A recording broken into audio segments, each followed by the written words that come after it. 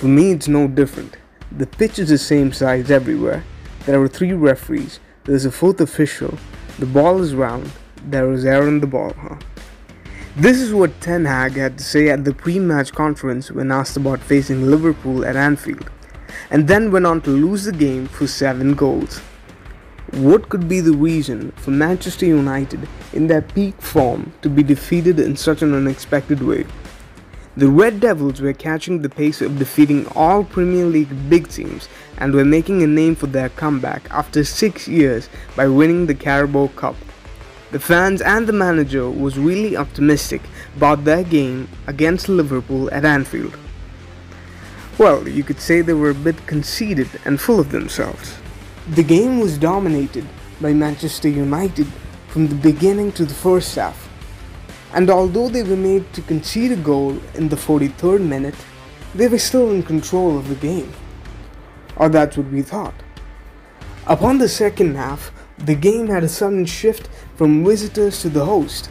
A total of six goals were conceded in just the second half itself. But what we can clearly see is that Manchester United forgot what Anfield is, and Ten Hag apparently understood what it means to come to Anfield.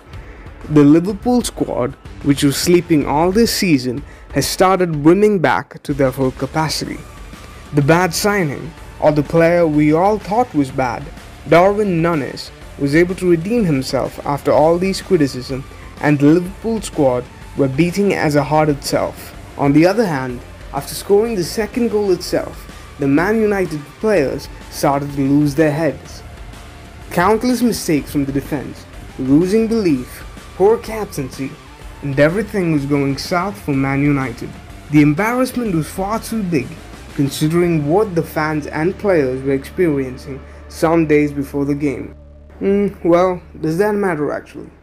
Liverpool is currently 5th in the table, 7 points behind United, and this one loss will be a good eye opener for United and Ten Hag. Although this loss will haunt the United fans for many days, they will come back strongly.